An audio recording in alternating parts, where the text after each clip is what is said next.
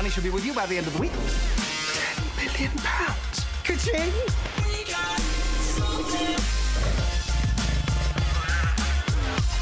Someone wants to murder 20 people. Maybe they're dead already. This is bad. What is it you want? I could use a dirty cop. What did you agree to do? Everybody wants to prove who's the richest. We're talking about viciously competitive people. So we're like seriously using the word murder.